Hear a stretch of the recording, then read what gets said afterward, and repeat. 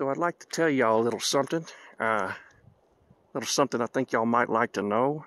Um, and I don't think y'all know this, but uh, people always come up and ask, why do why do so many gang stalkers like to leave their arm hanging out the window? And uh, you know, that's a good question, and I'll tell you the reason for it.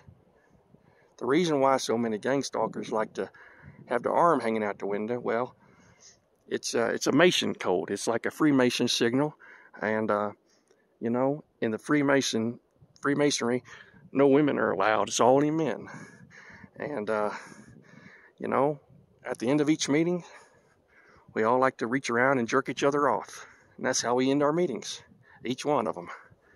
And so when you see a gang stalker, and he's got his arm out hanging out the window like a limp dick, that's just code that he wants to jerk you off. That's all it means. We just we just love dick and we love jerking guys' dicks off. That's all it is. Doesn't mean we want to fuck you or blow you. We just love jerking you off. That's all. Because we just love a nice hard cock in our hand, you know. We, we get tired of pussy.